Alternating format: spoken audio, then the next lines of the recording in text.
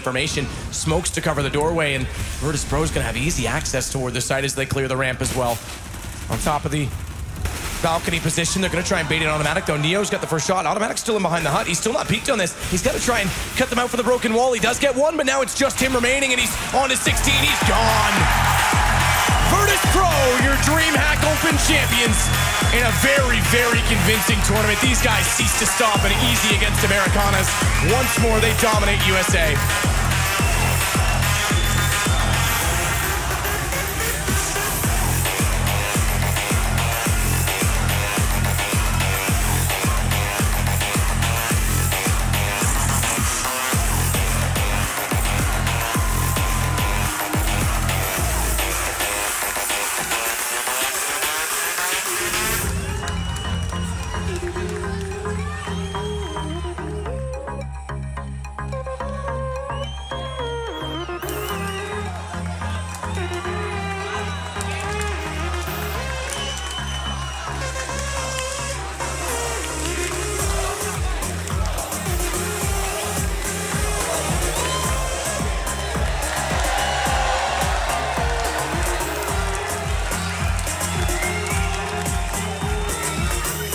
Victor, if I could have a second of your time, what's going through your mind right now?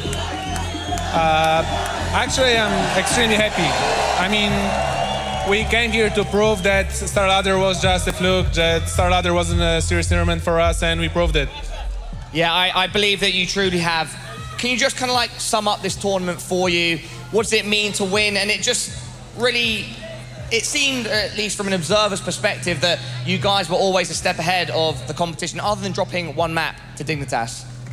I honestly feel like this tournament is like Christmas for us. Like, we get CT side for free, we get our maps for free, so it just feels so good when everything works for us. So I'm extremely happy.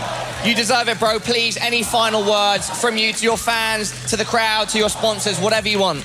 I want to give a big shout out to everyone here. Thank you, boys and girls. Thank you. There we go, everybody. Virtus Pro. Oh, oh and pashaBiceps would like to talk as well. Romagna,